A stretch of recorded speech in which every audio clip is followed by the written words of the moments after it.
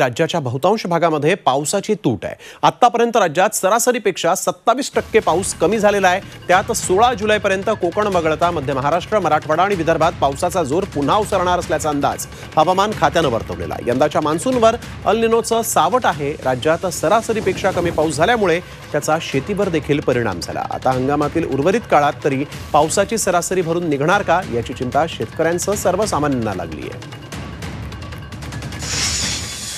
तर मुंबईकरांना मात्र दिलासा देणारी बातमी कारण मुंबईला पाणी पुरवठा करणाऱ्या धरणांच्या क्षेत्रामध्ये दमदार पाऊस सुरू आहे. त्यामुळे धरणातील पाणी पातळी वाढू लागलेली आहे. सध्या मुंबईला पाणी पुरवठा करणाऱ्या सातही धरणांमधील पाणीसाठा एकवीस पूर्णांक सत्तावन्न टक्क्यांवर आलेला आहे. हे पाणी मुंबईकरांना सप्टेंबरपर्यंत पुरेल एवढं आहे. मात्र असं असलं तरी पुरेसा पाणीसाठा होईपर्यंत मुंबईकरांची पाणी कपातीपासून सुटका होणार नाही. धरणं भरण्यासाठी आणखीन जोरदार पावसाची ही प्रतीक्षा आहे. सध्या मुंबईच्या धरणांमध्ये किती पाणीसाठा आहे पाहूया. मोडकसागरमध्ये पंचेचाळीस पूर्णांक पंच्याण्णव टक्के तानसामध्ये सेहेचाळीस पूर्णांक चार टक्के मध्य वैतरणामध्ये एकोणतीस पूर्णांक अठ्ठेचाळीस टक्के भातसामध्ये पंधरा पूर्णांक सदुसष्ट टक्के विहारमध्ये त्रेचाळीस पूर्णांक सतरा टक्के तर तुळशीमध्ये साठ पूर्णांक सतरा टक्के.